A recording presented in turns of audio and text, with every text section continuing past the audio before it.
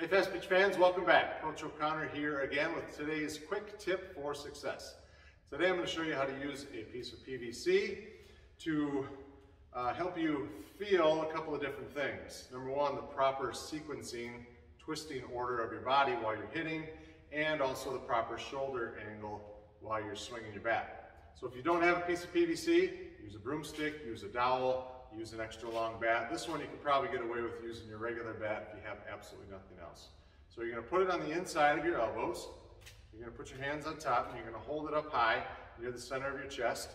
And if you want to have a target, something to hit, you can. You can actually hit wiffle balls if you wanted to, to do this drill hard and fast. But for slow motion, you're going to bend your legs, you're going to hinge your hips, and now the first thing I'm going to do is keep my eyes right here and I am going to drive my knee and my hip and start to twist my torso and I'm going to make sure the front of that doesn't move.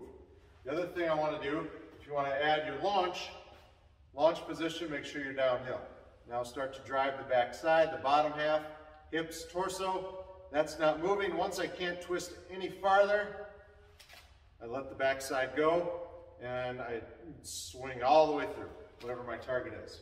So launch, twist the bottom half, keep my eye on that front of the PVC, it's not moving.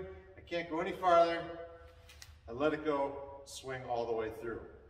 So you can see the angle of this is matching the angle of my shoulders. So this represents your bat. Because when you make contact with the ball, you want your bat angle to match your shoulder angle. So this is another great visual, and it's a great way to feel that twist and the stretch between your hands and your front foot. So like all the other twisting PVC drills, start with this and then graduate to your back and see if you can hold your hands back uh, without any other feedback whatsoever because eventually that's what you're going to have to do in the game.